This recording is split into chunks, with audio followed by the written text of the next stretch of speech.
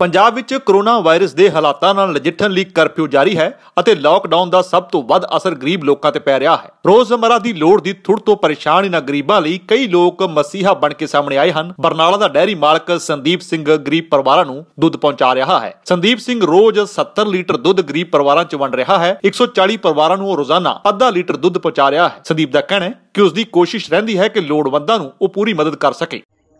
ਮੈਂ ਪਿਛਲੇ ਲੰਮੇ ਸਮੇਂ ਤੋਂ ਬਰਨਾਲਾ ਪ੍ਰੈਸ ਕਲੱਬ ਵਾਲੇ ਵੀਰਾਂ ਦੀਆਂ ਗਤੀਵਿਧੀਆਂ ਦੇਖਦਾ ਆ ਰਿਹਾ ਸੋ ਇਸ ਵਾਰ ਜੋ ਆਪਣੇ ਮੁਲਕ ਦੇ ਵਿੱਚ ਮਹਾਮਾਰੀ ਜੋ ਆਈ ਹੈ, ਉਹਨੂੰ ਮੱਦੇ ਨਜ਼ਰ ਰੱਖਦੇ ਹੋਏ ਮੈਂ ਆਪਣੇ ਫਾਰਮ ਦਾ 70-75 ਲੀਟਰ ਦੁੱਧ ਕਾਫੀ ਦਿਨਾਂ ਤੋਂ ਇਹਨਾਂ ਵੀਰਾਂ ਨੂੰ ਦੇ ਰਿਹਾ। ਇਹ ਵੀਰ ਅੱਗੇ 140 ਪਰਿਵਾਰਾਂ ਨੂੰ ਉਹ ਦੁੱਧ ਪ੍ਰੋਵਾਈਡ ਕਰਵਾ ਰਹੇ ਨੇ।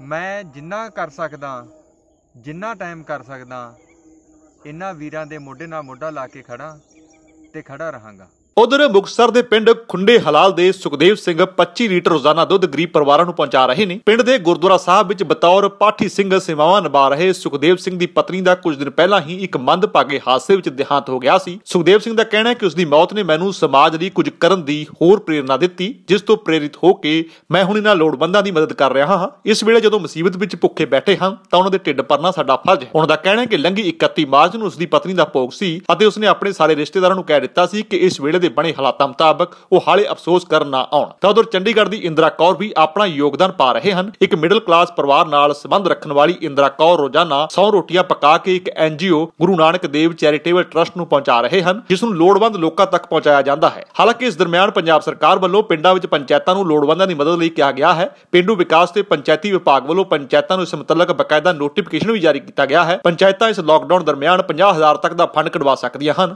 ਤੇ ਜਿਸ ਦੀ ਡੇਲੀ ਲਿਮਟ 5000 ਹੈ। ਪਿੰਡ ਖੁੰਡੇ ਹਲਾਲ ਦੇ ਸਰਪੰਚ ਦਾ ਕਹਿਣਾ ਹੈ ਕਿ ਜ਼ਿਲ੍ਹਾ ਪ੍ਰਸ਼ਾਸਨ ਵੱਲੋਂ ਹਾਲੇ ਕੋਈ ਮਦਦ ਨਹੀਂ ਆਈ, ਪਰ ਉਹ ਆਪਣੇ ਪੱਧਰ ਤੇ ਸਮਰੱਥ ਜ਼ਿਮੀਂਦਾਰਾਂ ਦੀ ਮਦਦ ਨਾਲ ਲੋੜਵੰਦਾਂ ਦੀ ਮਦਦ ਕਰ ਰਹੇ ਨੇ। ਸੋ ਇਸ ਬੁਰੇ ਵਕਤ ਵਿੱਚ ਰੋਜ਼ ਦੀ ਕਮਾ ਕੇ ਖਾਣ ਵਾਲੇ ਇਹਨਾਂ ਪਰਿਵਾਰਾਂ ਲਈ ਦੋ ਡੰਗ ਦੀ ਰੋਟੀ ਹੀ ਵੱਡੀ ਚਿੰਤਾ ਹੈ। ਬਰਨਾਲਾ ਤੋਂ ਸਿੱਖ ਨਿਊਜ਼ ਐਕਸਪ੍ਰੈਸ ਲਈ ਸੁਖਚਰਨ ਪ੍ਰੀਤ